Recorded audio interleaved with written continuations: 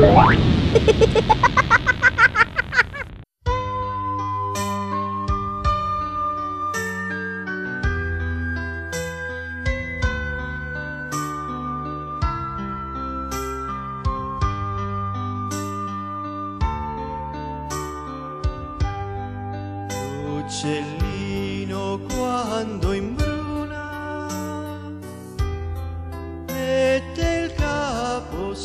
Totola.